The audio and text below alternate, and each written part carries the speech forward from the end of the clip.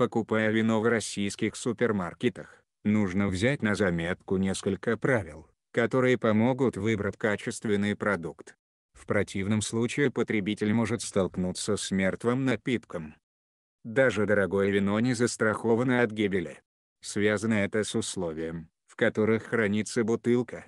Эксперты Роскачества обращают внимание на то, что не ограничен срок годности напитка лишь в идеальных условиях винного погреба, где по всем правилам соблюдены темнота, нужная температура и тишина. Специалисты советуют, выбирая белое сухое или полусухое вино, обращать внимание на дату разлива. Лучше всего пить алкогольный напиток в первый год попадания в бутылку. Если говорить о недорогих красных винах, они продержатся на полгода-год дольше. Меньше всего внешнему воздействию подвержены и крепленные напитки. Также в раскачестве пояснили, что большая скидка на вино не указывает на его испорченность. Некоторые торговые сети устраивают распродажу в период тематических фестивалей.